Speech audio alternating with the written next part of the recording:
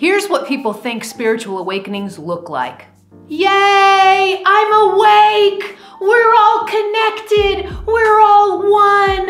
Everything is love! Hey, give me a hug! I can tell you from experience in working and connecting with thousands of people all over the world that this is not how the majority of us have a spiritual awakening. And in this video, I'm going to share with you the eight hardest signs of spiritual awakening that you can encounter, including some that you're not going to hear of anywhere else. And most importantly, I'm going to help you overcome these signs so you can live through your spiritual awakening with more peace and joy. Coming up,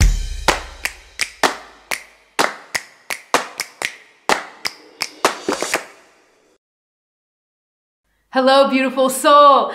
This is Christina Lopes, the Heart Alchemist, here to help you open your heart, heal your past, and live with purpose. If you're new to my videos, click on that subscribe button and also on the bell so you get notified as soon as I publish new content.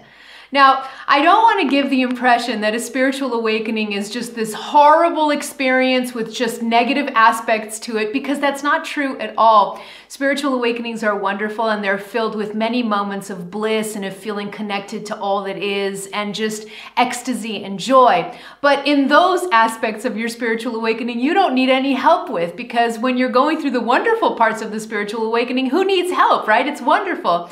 So I saw, shot this video specifically to help you go through some of the hardest parts of the spiritual awakening, but it's not to say that there are only hard parts, okay? So I wanted to leave that here.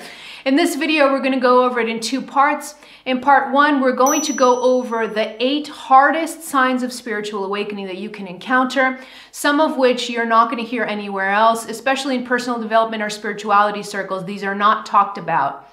And then in part two, I'm going to help you overcome these signs by sharing my top five strategies to help you kind of work with these signs if you're encountering any of them, work with them so you can kind of get your spiritual awakening a little bit more on track and so that you can experience your spiritual awakening with more joy and peace. Once you finish watching this video, let me know in the comments below how many of the signs that I mentioned in the video are you experiencing in your life right now. Let me know in the comments below. All right, on to part number one, and that is the eight hardest signs of spiritual awakening. Sign number one is uh, increased sensitivity. so increased sensitivity means that when that spiritual awakening is triggered, when you start your spiritual awakening, your energy system, it feels like your energy system explodes and it just opens up. It opens wide up. And what happens is you become very, very sensitive to the energy around you, hyper, hyper sensitive. And there are usually two ways in which you become very sensitive. The first way is you become very sensitive to the energy of people, of the people around you. And so a lot of people reach me and they are just freaking out because they are so sensitive to the energy of people, other people's energy, that they feel like they're constantly running away from this energy because it's too intense, especially initially when you're first having your spiritual awakening. And this happened to me also, so I know exactly uh, how you're feeling if you're feeling this.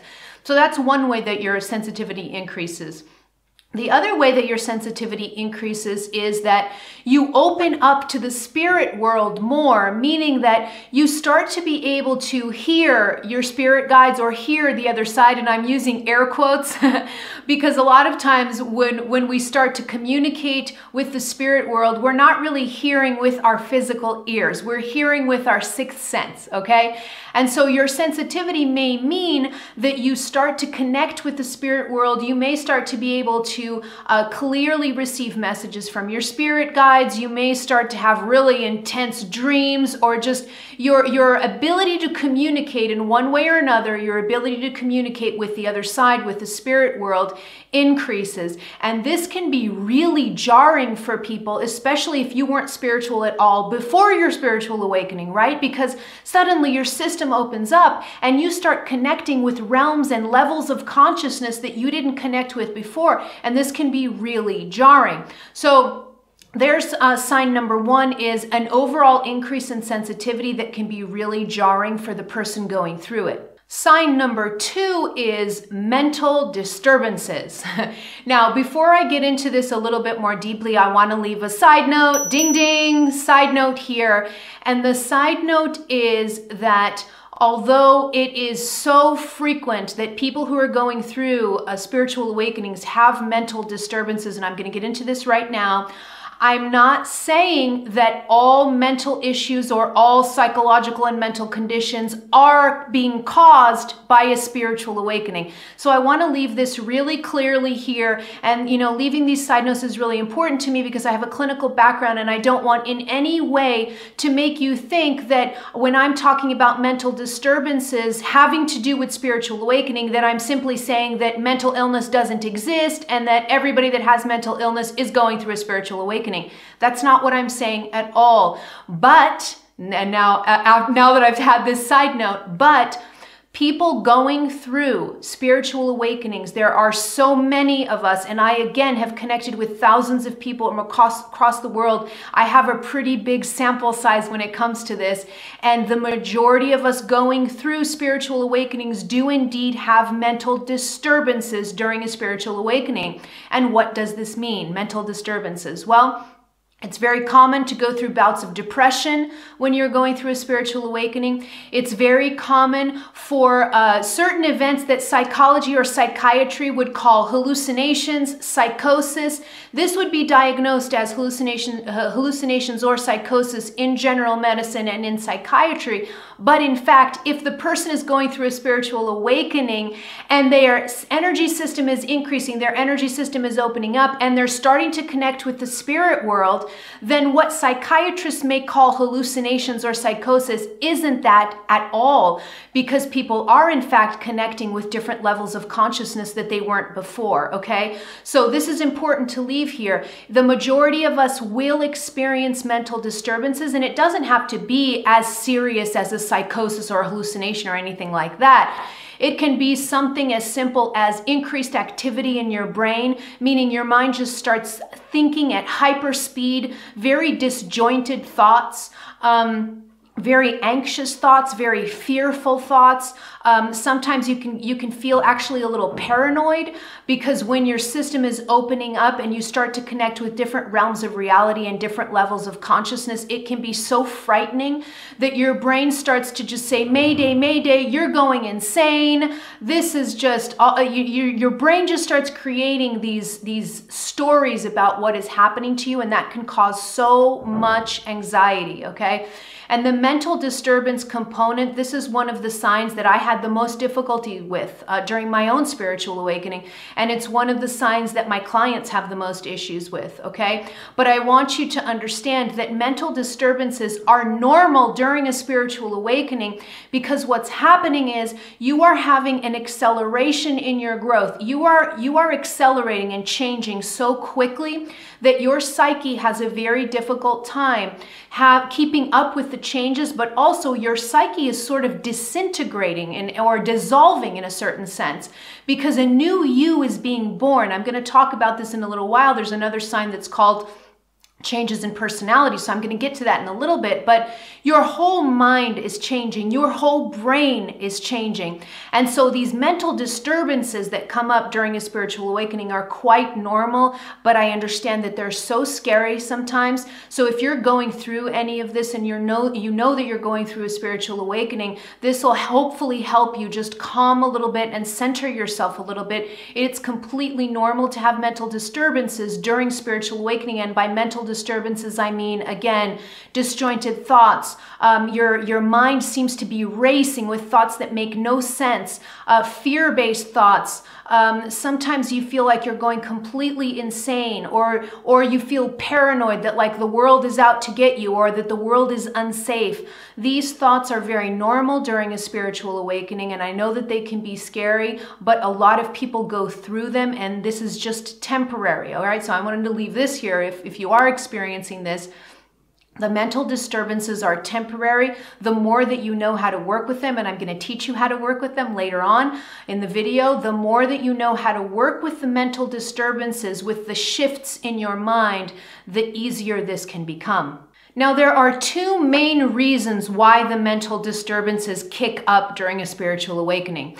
And the first one is that you actually, when you're going through a spiritual awakening, your system opens up, your soul starts to accelerate your growth. One of the things that the soul does to accelerate your growth is it starts to trigger old wounds that come up to be healed. And get this, ding ding here. Those old wounds, they don't have to be just of things that happened to you in this lifetime. Your soul will bring up, they, your soul will bring up things from past lives to be healed in the now moment. And this is why this can be so jarring because what happens mentally is when your soul triggers these old wounds to come up to be healed, you can actually start having flashbacks from past lives, meaning things that did not happen to you in this lifetime and you know it when you're going through it. You can be sitting in meditation and you can go into spontaneous past life regressions. This happened to me and this has happened to countless of my clients where I was just sitting in meditation and boom, I started to experience a past life memory. I went into auto regression, spontaneous auto regression, where I started experiencing a different timeline that had happened to me in the past. And imagine, I mean, really think about this when you're having these flashbacks from lifetimes that are different from this one. Imagine how jarring this is. So, if you're going through this, I know exactly how you're feeling. I remember in phases during my spiritual awakening, initially, especially, I would be washing dishes and just going about my day doing nothing. You know, I'd be washing dishes and then suddenly, boom, I would I would remember an intense past life episode that had happened to me. It would just come up in my mind. I could see it clearly. There were some moments where I remember I was a warrior and I was killing people and there was just so much violence and those images came up into my mind in so much detail. I knew exactly what was happening. I knew that it was a past life memory but it was still really scary, right? Like imagine you're washing the dishes and you just have past life memories come up into your mind. It's very, very scary. So that's the first the first reason where the mental disturbances come from. A lot of times is that your soul is triggering past life memories to come up to be healed and your mind literally can remember these things that didn't happen in this lifetime and that could be really scary things, it could be very frightening things, and so that causes a bit of mental disturbance. The second thing that can cause mental disturbances during a spiritual awakening is that because your energy system opens up, now you have to remember that your mind is a part of your energy system, right? Thoughts are energy. They are nothing more than energy. So when your whole system opens up, when you become more sensitive, that's one of the signs I already talked about. When you become more sensitive, it sort of means that your mind opens up too. Your mental sensitivity opens up too. And this means that it could be very easy for you to start tapping into the collective consciousness, the thought forms in the collective consciousness. Now, what the heck do I mean by this? So, if thoughts are energy, and energy cannot be destroyed, it can only be transformed. It means that on an energy level and on a spiritual level, every thought that has ever been thought in this reality still exists. that could be a bit mind boggling, but it still exists. So think about it 7 billion people on the planet. We think about, I think the, the, I think the statistic is that we, we have around um, what is it, 80,000 thoughts a day. I think I read that statistic somewhere. So imagine 7 billion people times 80,000 thoughts a day. And you can imagine the material, the thought forms that exist in the collective consciousness just kind of hanging around the planet, okay, in the form of energy. And when you become sensitive, you can more easily tap into, your mind can more easily tap into those thought forms of the collective consciousness.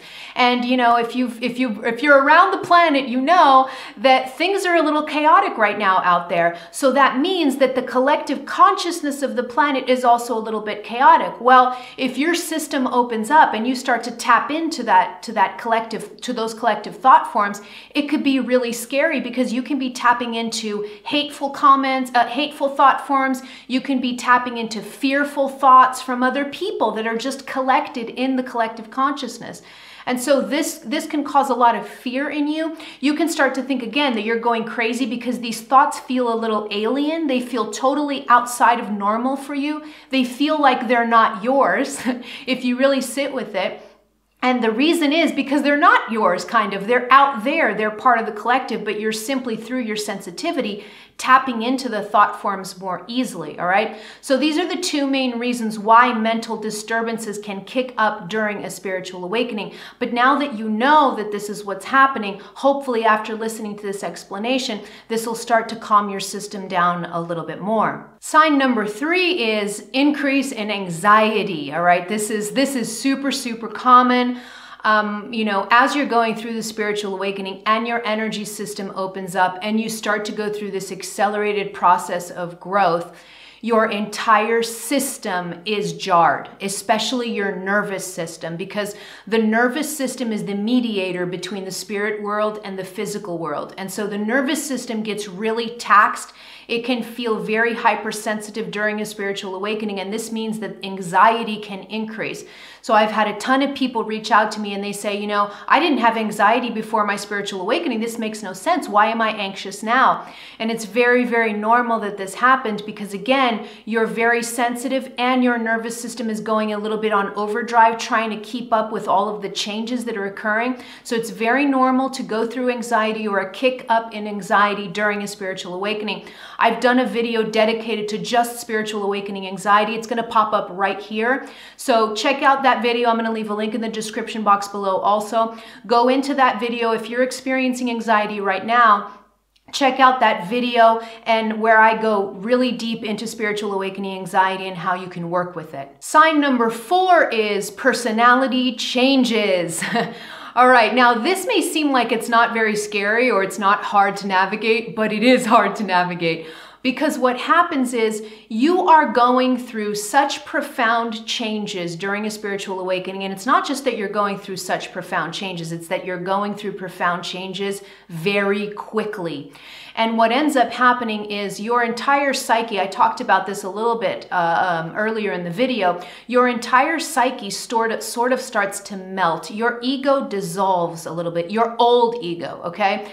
And so your old personality traits will literally start to fall sometimes from one day to the next.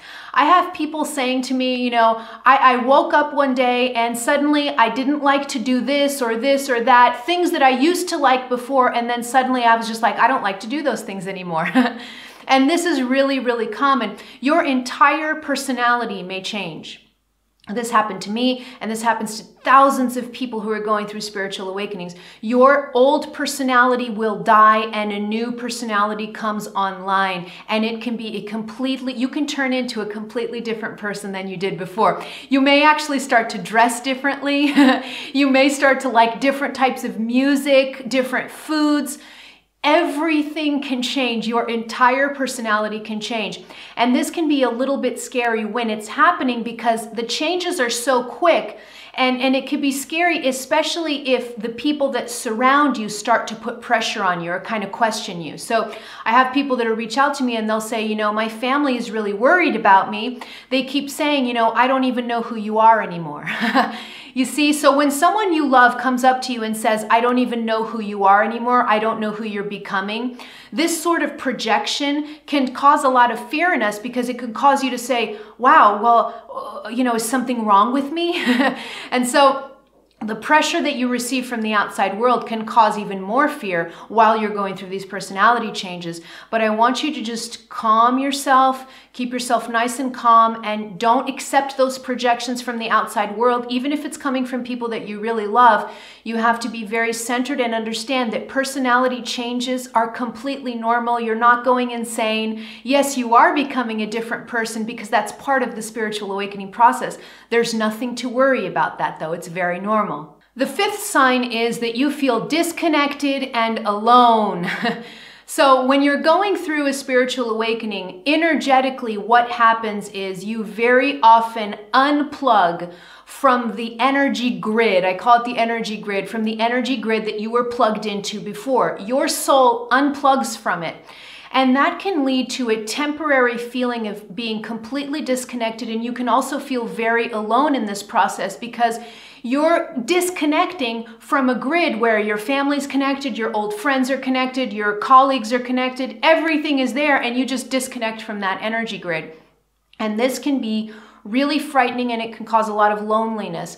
I did a huge video on this one. Uh, it's probably my most watched video on the channel, I think. So that's how much it really resonated with people. I'm going to leave it here. It's about the process of disconnection. So click on that, uh, watch that video after you finish watching this one. If you feel like you're disconnected from your environment and you feel lonely about it, click on that video to, to watch more. But this is perfectly normal during a spiritual awakening to disconnect from your old energy grid. Eventually, you're going to connect into a new energy grid once your spiritual awakening continues to unfold.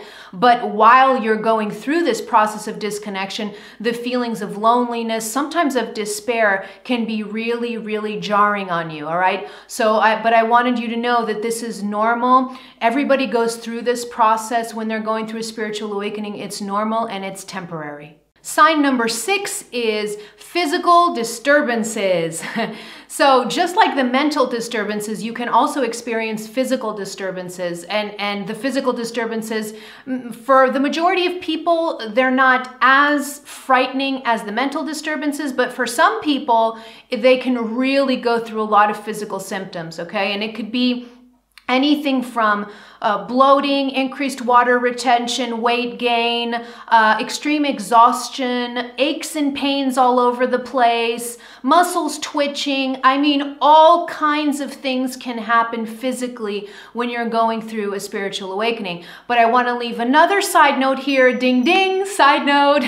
I want to leave another side note here because when I say that it's normal to go through these physical disturbances during a spiritual awakening, I'm not saying for for you to not seek medical attention if you feel like you need it. Okay, so please don't just shy away from medical attention simply because you know you're going through a spiritual awakening and you just have to weather all the symptoms. If you feel intuitively that you need to seek out medical attention to help you go through the physical symptoms, please go see a doctor and don't be afraid to go see a doctor, okay? You know, you can actually rule out anything that may be going on seriously with your body, all right? So go see a doctor, don't be afraid of it. But the physical disturbances and physical symptoms are quite normal during spiritual awakening.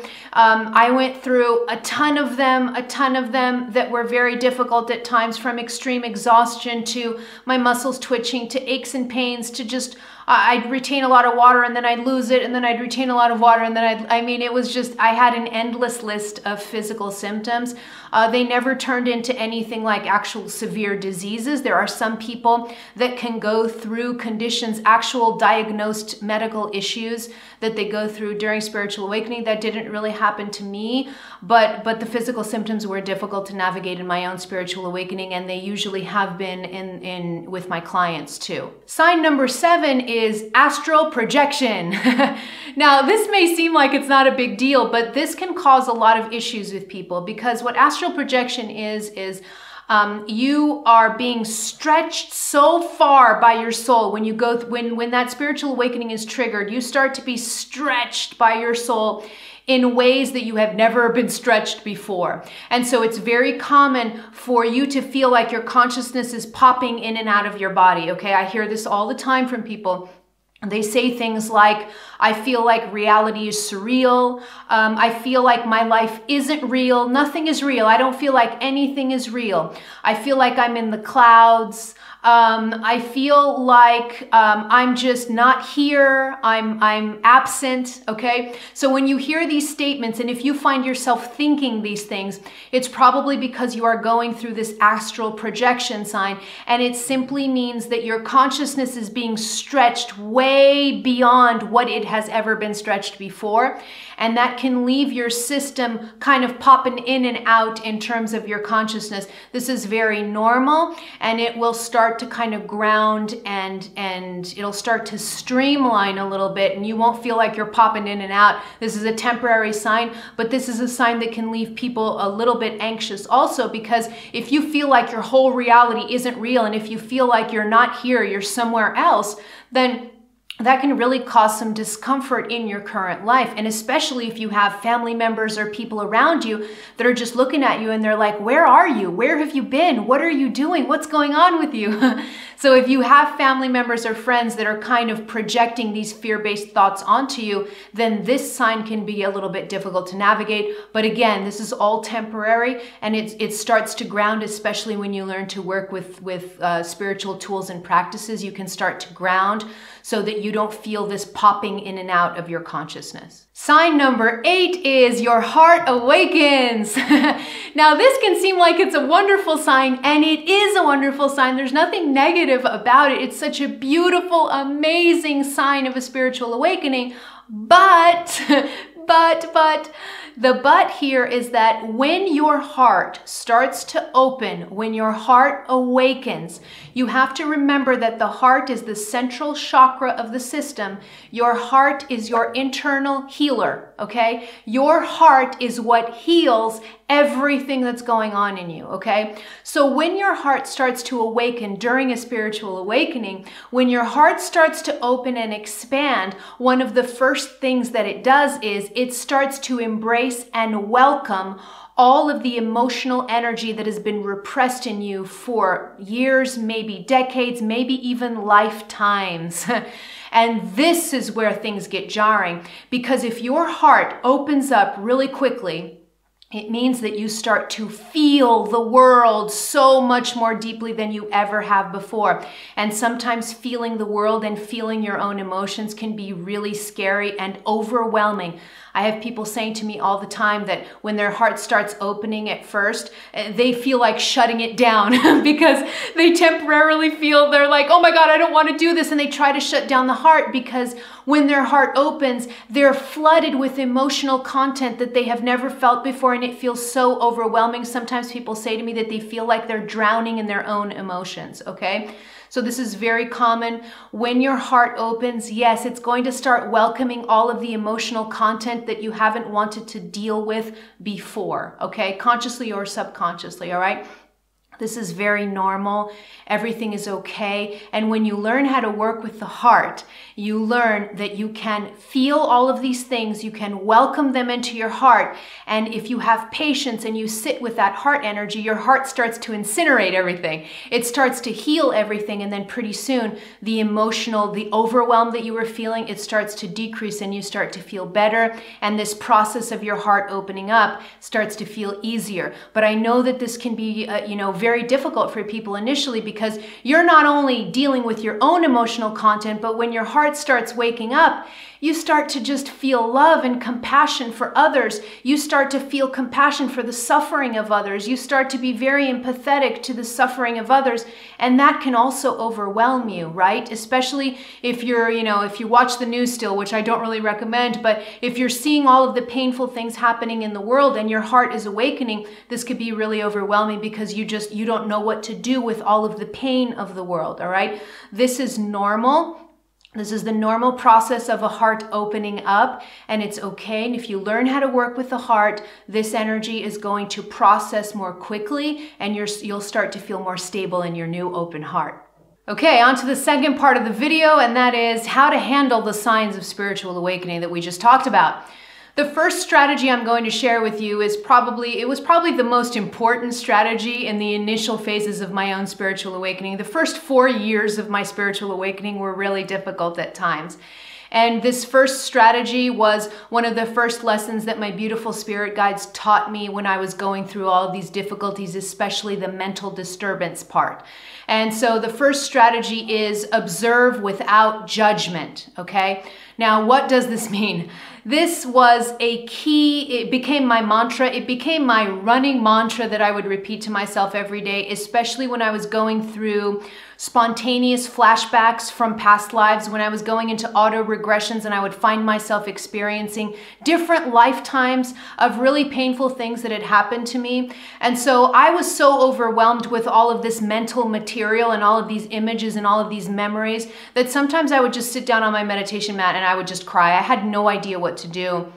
But I was really fortunate that I was really connected to my spirit guides um, and I could hear what they were saying to me. I could channel what they were saying to me. And, and I remember that one of their first lessons to me was observe without judgment, that I had to learn how to detach from all of the thoughts that were occurring in my mind, even if they were really disturbing thoughts and even if they were memories and flashbacks and whatever, it didn't matter. They taught me how to watch the mental activity in my mind in the same way that you would watch a movie in a movie theater, okay? So I had to learn how to sit back on the chair in the movie theater and just watch the movie screen with detachment, okay?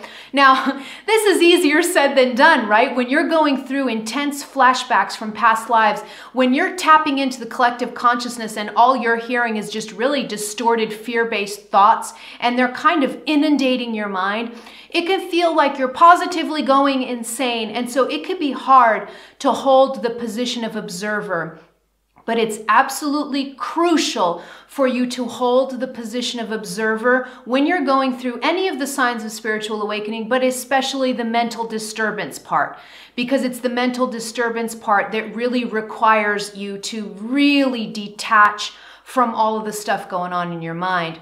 So this this position of observer simply means that you have to come to the realization that you are the soul, you are the consciousness that observes everything that's happening including your thoughts, your emotions. You observe everything out there, but you can also observe everything in here. You are the consciousness that observes everything. So you can absolutely sit back, way back in your theater chair and watch the screen, watch the movie go off on the screen and not be involved at all in the drama. And this was a key mantra for me when I was going through really difficult symptoms of, of in signs of my spiritual awakening. And I sometimes I would write this mantra down and I would just repeat it over and over and over every day, especially when I was having these flashbacks or when I would wake up in the middle of the night, this is very common. You can wake up in the middle of the night and your mind is going just a bunch of different thoughts that have nothing to do with your life. And that's because at night you can tap into the collective consciousness more easily. And so, a lot of times, if you find yourself waking up in the middle of the night with just really disturbing, ridiculous thoughts, it's because you're receiving those thoughts from collective consciousness. And so, it's at this moment that you can just take a nice deep breath separate yourself from the thoughts and from the emotions that you're feeling and and really really stand in those shoes of being the observing consciousness of everything that's happening. The second strategy is ground and soothe okay so i talk about grounding a lot in my videos because it's absolutely essential when you're going through a spiritual awakening you must ground that energy remember you're being stretched way up into the sky far beyond anything you've ever been stretched before. And so the more that you're stretched upwards, the stronger your and deeper your roots have to be down into the ground. Think like a tree, okay? A tree can only grow as tall as her roots go deep okay? And so that's what you have to do when you're going through any of these signs of spiritual awakening that we just talked about is you have to learn how to ground and how to soothe yourself. So the grounding things, you know, my favorite grounding thing is to go out in nature Go to the middle of a forest. The older the trees you can find, the better. I like to do earthing. I like to take my shoes off and my socks off and just put my feet on the earth. So you can do earthing. You can walk around in nature like that. Um, you can ground by doing body work like massages, or you can do tapping routines. If you don't have money to go get a massage, massage yourself. You know, apply pressure to your body. That's another way to really ground is to apply pressure to your body. Uh, massages, body work, um, other things that'll ground and soothe you. You can take baths, warm baths with Epsom salt. Um, you can listen to really soothing music. You can use aromatherapy. Um, you can do meditation. There are a ton of things that you can do to soothe yourself, to calm yourself, and to ground yourself. So I recommend using grounding and soothing techniques every single day, especially if you're going through any type of anxiety or if you're feeling unsettled or if you're going through any of the, the signs that I just talked about earlier in the video. It's essential that you ground and that you soothe, and it's essential that you do this every single day. The third strategy and one that I love so much is hold your power. You must learn to hold your power. You must learn to come into the shoes of the powerful soul that you are, especially when you're going through that increased sensitivity that I talked about earlier in the video. The more sensitive that you feel to the energies around you, the more you have to stand in your power because if you don't stand in your power, you're going to be constantly overwhelmed by the energies of others. And you know, when people say to me, oh my gosh, you know, I just can't stand other people's energy, I just kind of look at them and I'm like, well, why are you letting other people's energy influence you? That's always my question. And people just kind of look at me and they're like, oh, I didn't know I had an alternative. Yes, you do have an alternative. You don't need to be influenced by other people's energy if you don't want to. And this is part of coming into your power, understanding who you are on a soul level, understanding how powerful you are, understanding that you are an extension of source energy and you can stand on your own two feet with a lot of power, not accepting the projections or the energies of others, especially if that energy is uncomfortable or dense and chaotic. Why would you want to accept that? So as you're going through your spiritual awakening, this is a huge part of my work with clients is helping them come into their power. One of my favorite little techniques to help you come into your power is first of all, recognize that you are very powerful and that you don't have to take in anyone else's energy. You're not a fragile wallflower. You are a powerful soul, a powerful eternal soul, and you can stand on your own two feet without taking in anyone's energy. So that's the first thing is realize your power. And then the second little technique that I like to use is to visualize yourself as a burning fire. I love this example. I love this visualization. So if you walk into a room or you walk into a space and the energy is really dense and you're starting to really feel the, the, the density of that energy immediately, you're to stop, take a nice deep breath, you know, Bring your chest out a little bit if that helps you. Take a nice deep breath and you're immediately going to start to visualize yourself burning outwards, okay? You're gonna be a burning fire, uh, a living fire. And a living fire is a type of fire that burns and transmutes anything that comes into contact with it, all right?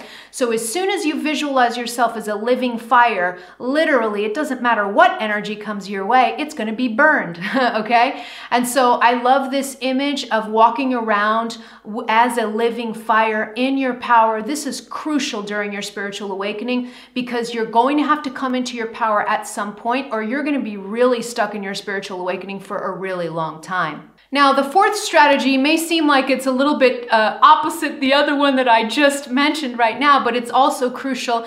And the fourth uh, strategy is called hermit when necessary, okay?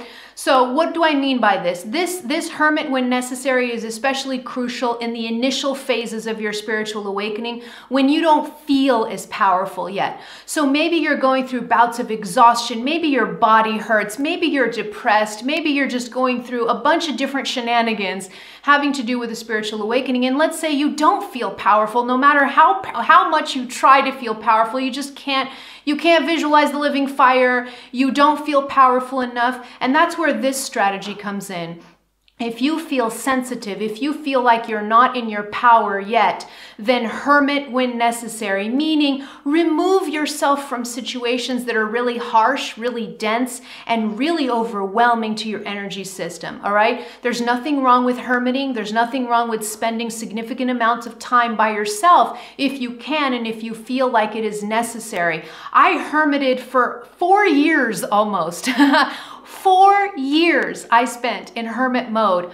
And it was because I was coming into my power. My spiritual awakening was so difficult that I, I really needed that hermit time. I needed that alone time. I needed that time of solitude. It just me and nature. I needed that to kind of build up my defenses, okay? Not build up my defenses, build up my energy system. Okay, that's what I meant. Build up my energy system so that I could walk around in my full power. And so it took me, uh, you know, four years of hermit mode. It doesn't mean that you have to be four years in hermit mode. We're all different. But what I mean with this strategy is if you want to hermit, if you want to spend more time on your own, especially initially when you're going through a spiritual awakening, there's nothing wrong with that. There's nothing wrong with you removing yourself from from dense and difficult situations temporarily. But here's the ding, side note on this one, ding ding. The side note on this one is I don't want you to overuse this strategy, meaning that I'm not saying for you to become a recluse the rest of your life because that defeats the purpose of you being really on earth right now, right? If you're watching my videos and you identify with my energy and you resonate with my energy, what I'm doing is I'm helping you come into your powerful shoes and your powerful life mission as a healer and a light worker in your own right. And so that means that you're not here to live a reclusive life. So don't use this strategy permanently, right? The hermiting strategy is a strategy that we use temporarily, but eventually you're going to have to come into your power and you'll have to come out of hermit mode. And you know, throughout your life, you may come out of hermit mode and then you may want to spend a couple days by yourself and then you may come out of it. There's nothing wrong with that. I just want to leave the side note here that try not to become a recluse for the rest of your life because that defeats the whole purpose of what you're here doing on earth. The fifth strategy is also a play on your power, but it's a little bit different. So the fifth strategy is intend to heal.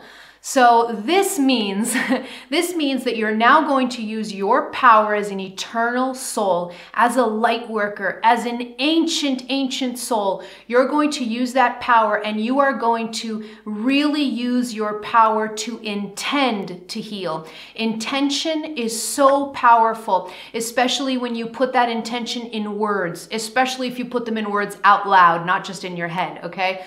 So intention is very, very powerful. Intention is the first phase of manifestation. So you have to intend to heal. And a lot of times, you know, people get a bit confused because when they start working with me, I say to them, you know, do you want to heal this? And they're like, of course I want to heal this.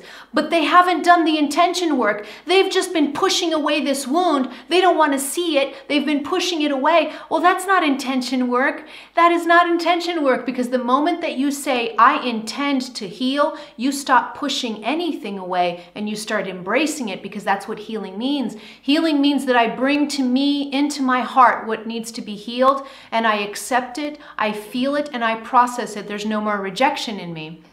So, intend to heal is a really powerful strategy.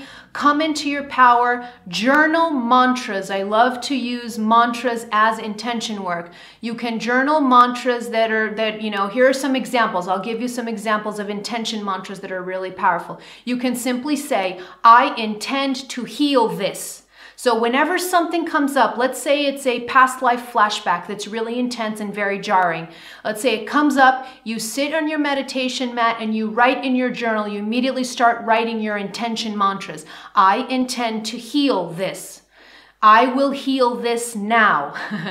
You see? And you could come up with a bunch of different mantras to illustrate this, to just kind of launch this powerful healing intention and, and you're going to keep working with mantras. The trick with mantras is that the more that you repeat a mantra over and over and over again, the more you activate the power of the energy and you create momentum for that energy to work. All right. So when you design your mantras, when you design your healing and your intention mantras, use them repeatedly. Just repeat them over and over and over again over a course of a meditation. Okay.